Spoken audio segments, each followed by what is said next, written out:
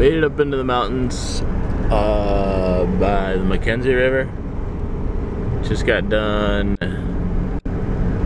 I don't know, one of the developed hot springs where you gotta pay to soak. Been trying to find easy access to some of the undeveloped hot springs, but I haven't found it yet. I came down out of Portland on the 224 and now I'm up here in the mountains headed over towards Bend, Oregon.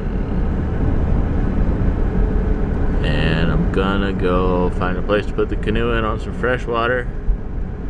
Feels good to be up here in the trees where it's sunny and not so windy.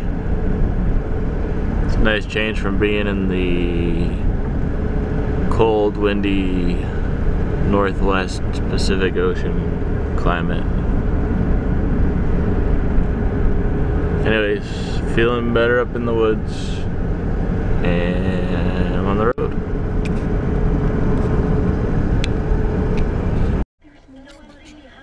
Dog food's cheaper in Oregon. Dog food's cheaper in Oregon.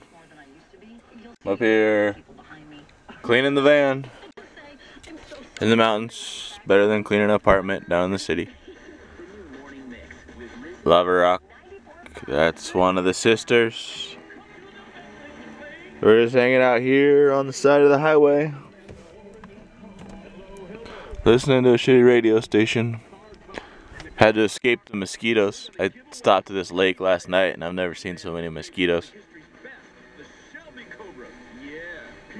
They just sat outside the van door waiting for me to open it. The one thing they don't like though is propane. You just turn on that propane stove and they all run and hide. Makes you wonder what's in the propane.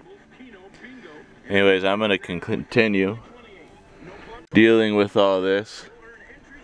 Too much stuff. Should have a yard sale on the side of the road. And then go do something else up in the woods. I don't know what.